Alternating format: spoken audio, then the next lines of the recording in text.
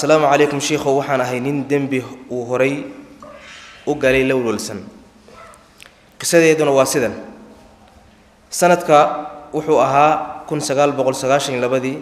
Gabar aan isku fiicnayn oo aan wada socon jirnay ayaa waxay ii qarisay in la qabo. Wada soo wada socod dheer kadib waxaana dhex maray gogoldhaaf meeshana waxay ahayd sacuudiga. Aniga markii waxaan aaday maraykanka oo aan hadda xaas iyo carruur ku leeyahay muddo kadib iyadii ayaa isoo wacday iguna iguna wargelisay inay uur qaaday habeenkii baashaalka.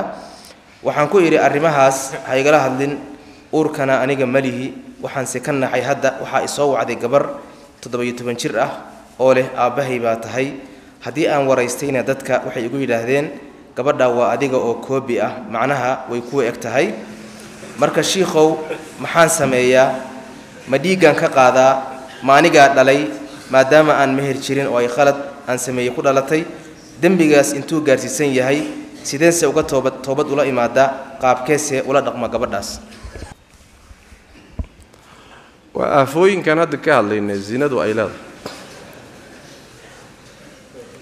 Shareecadu shareecadu war waxaa ka fogaada hadday tidhaahdo oo laga fogaan waayo dhibaatooyin noocan oo kaleetaa dhacaya jawaabta su'aashu waxa weeye gabadha siduu sheegay ninku haweenta markii ay kulmayeen oo ay xaaraan iyo zino ku kulmayeen nin kalaa qabay.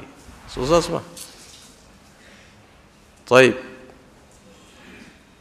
ilmahaas meeshaas ay haweentaasi dhashay. Ninkii qabay baa iska leh. Leanna nebigu wuxuu yidhi alwaladu lilfiraash ilmaha dhashay haweenta la qabana ay dhashay ninkii qabay ee ay gogosha u ahayd baa ilmaha iska leh. Walilcaahir alxajar. Ninka zaaniga ana dhagax buu leeyay maxaa laga wadaa ya. Bimacnaa ama ha la qadiyo waayo wax ilmaha meesha uma yaalo ama mehe dhagaxba ha lagu dilo waayo oo la garaaco.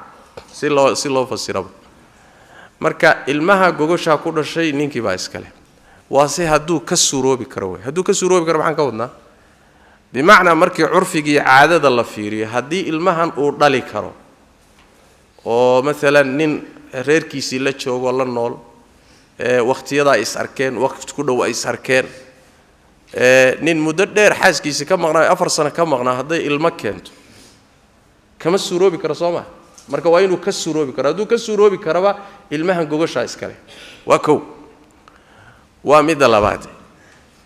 Ninku haddiiba la yidhaahdaba ilmahani biyihiisii baa laga abuuray. Waana ilmo zino. Abtirkiisa ma qaadanayaan. Biijmaaci alculamaa isaga abtirkiisa abtirka waxaa lagu qaataa inaad meher ku dhalato. Soo ma?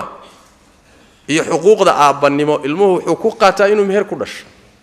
Meher kuma dhalanin sidaas daraaddeed ilmaha zinada hooyadii buu ku abtirsadaa.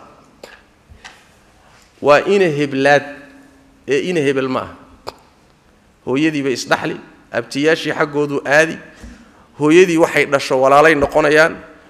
Laakiin ninkan orgiga ahe meesha wax ku daadiyey isagu teg tii laga lulay baa laga lulay. Saas daraaddeed waxay tilmaamaysaa dumarku inay aada uga taxadaraan iyadoo zinata haddana tabiicaadka iyaga raacaya waa ka badan yihi ninkan waxoogaagiisa intuu kulaylka iska daadiyey dhaqaaqay. Hawshu iyagay ku hadhay iyadaa marka loogu abtirin oo ilmuhu xaggu aadaya. Taana waa qodob. Wabitaali uma baahna mar hadday sidaas tahay uma baahna inaad dhiig ka qaato. Umana baahna inaad d n a ka qaato. Ilma aada og tahayba inuu zino yahay. D n a iyo koobi anugu i egyahay iyo koobigaagii weeye qaabkaa wax laguma sugo shareecaduna abtir iyo nasab kuma sugto. Gabadhaasi hooyadeed baa dhashay ninkii gogosha lahaabaa dhalay hadduu diidayo inkirayana waa inuu licaan sameeyo. Waa kii gogosha lahaa gogoshiisa ay ku dhalatay. Hadduu leeyahy anugu ma dhalin kaasi licaan buu samaynaya ilmaha wuu iska anfinaya. Hadduu licaantami waayo ilmuhu nasabkiisa iyo abtirkiisuu qaadanaya isagaa dhalay. Kan soo ma aha isagu ilmaha shaqo iskumay laha maxaan sameeyaa haddaad uun lilaahi isaga cacaawinayso lilaahi haddaad uun ruux bini aadanoo uun dhiban uun aada muxua u caawinaysa meesheeda waaye. Laakiin wax kaloo idinka dhexeeyaay ma uu jiro. Maxaan sameeyaa?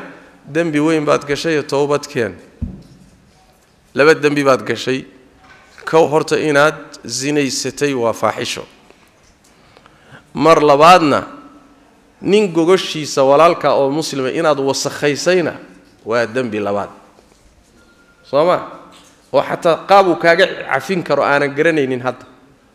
Ilaan xaq bini aadan soo ma gogosha nin baa lahaa gurigiisii baad wasakhaysay haddaad gurigiisi iyo gogoshiisa wasakhaysay sida saxdaa waxay ahayd intaad noosha inaad u tagtoo tidhahdi cafi. Laakiin adiga miyaad tegi kartaa dhihi kartaa? Nin miyaad ku dhihi kartaa? Reerkaagiiba ya reerkaagii baan ku khaldamayno iskagii cafi miyaad dhihi kartaa? Hawshaasi waa hawlun aakhara jirta waay waa xuquuq ilaahay xaggiisa jirta. Waxaase kula gudboon inaad towbad keento oo si dhaba ilaahay ugu soo noqoto tabaaraka wa tacaala. Wixii meeshaa ka dhashay iyo ilmahaasna xukunkiisu waa sidaas. Wabillahi towfiiq wsali allahuma wslama wbaaraka cala nabiyina muxamed wcala alihi wasaxbi waslem